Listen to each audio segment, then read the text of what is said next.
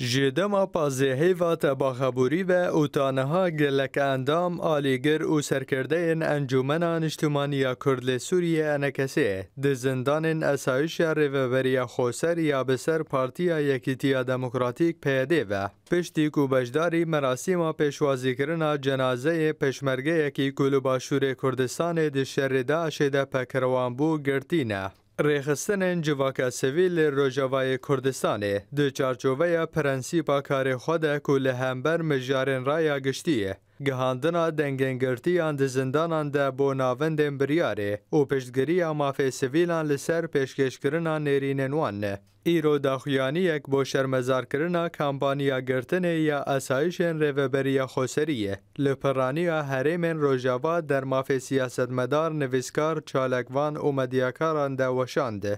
Herwisa heman rêxistinên civaka sivîl ku hejmara wan bêtirî pêncî rêxistin in, Di daxuyaniya xwe de ragihandin ku ew siyaseta girtin û binçavkirinê ya ku esayişên PYD der mafê kesên xwedînêrînên cuda û çalakvanên siyasî yên aştiyane de bi kar tînin bi tundî şermezar dikin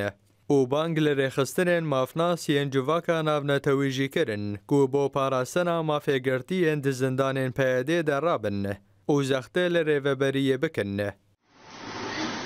û di heyama daxuyaniya xwe de heman rêxistinan piştgiriya xwe bo kesên ku greva birçîbûnê ya ku bi rengekî aştiyane li dar xistibûn nîşan dan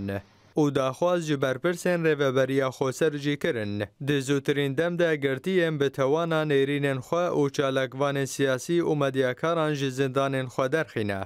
Tê zanîn di heyama her sê heyvên borî de esayişên Rêveberiya Xoser gelek kampaniyên girtinê der mafê siyasetmedar û çalakvanan de bi taybetî jî endamên Encûmena Kurdî û Partiya Demokratîk Kurdistanî Sûriye lê darxistibûn û ta niha bi kêmahî pêncî kes ji alîgir û endamên enekesê her wisa çalakvanên siyasî di zindanên Rêveberiya Xoser de ne. û tevî bangên rêxistinên civaka sivîl bo serbestberdana van girtiyan, Rêveberiya Xoser ta niha tu guhdarî li van xwestekan nekiriye, lê bi berovajî ew kiryarên xwe berdewam dike.